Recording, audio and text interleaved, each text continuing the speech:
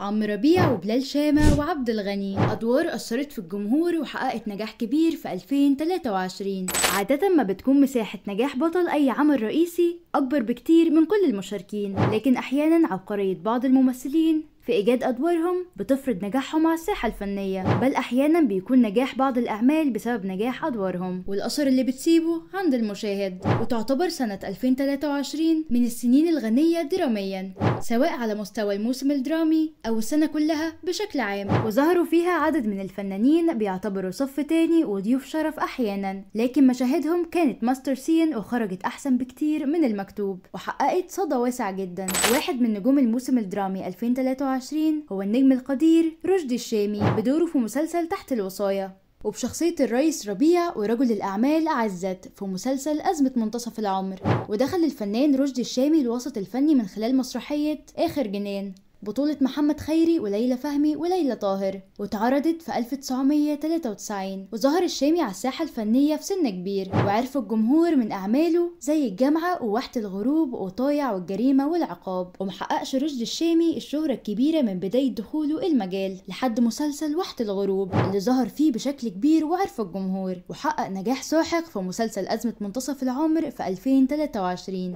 واللي ضاعت من شعبيته واللي اعتبره الجمهور الدور الأفضل في تاريخه الفني وفي رمضان عموما. دور عمي ربيع في مسلسل تحت الوصاية بطولة النجمة منى زكي. بجانب شخصية عمي ربيع كان في شخصية تانية شغلت بال الجمهور وفضل طول شهر رمضان 2023 يدور عليها مع جعفر العمدة.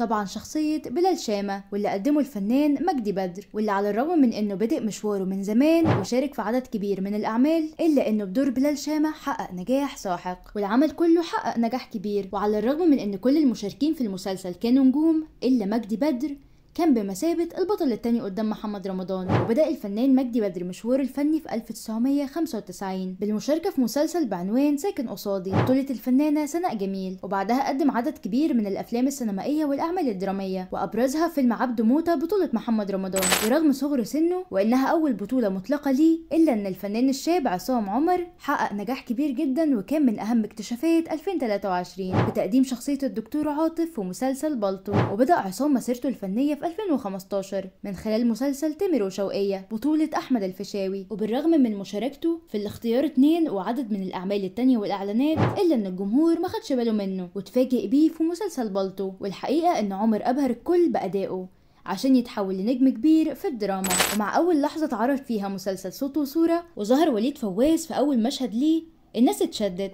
واكتشفت إنها قدام شخصية جديدة تماما وممثل مبهر. وصل للحالة بمنتهى البساطة. هو وليد فواز اللي بدأ حياته الفنية بتقديم عروض stand-up comedy وفاجئ الكل بدور عبد الغني وقدم لنفسه للجمهور بشكل مختلف تماما. بعد مسيرته الفنية الكبيرة بدأت في 2007 والحقيقة إن وليد فواز شارك في أعمال كتير حققت نجاح كبير ومع نجوم تقال زي مشاركته في زهايمر مع الزعيم وفيلم المصلحة مع عز والسقا ودور عنتر في مسلسل ملوك الجدعنة وعاش في دور الشرير لسنين طويلة قبل ما يغير جلده بدور عبد الغني وعلى باب العمارة واقف واحد من أهم نجوم 2023 اللي اتألق في السباق الرمضاني بشخصيته في الكبير قوي سبعة نفادي اللي ربنا كرمه بيها بعد سنين طويلة من المحاولات. ولأنه نجم وفاهم وذكي ومتجدد قرر يخرج صلاح حباية نفادي واشتغل على نفسه.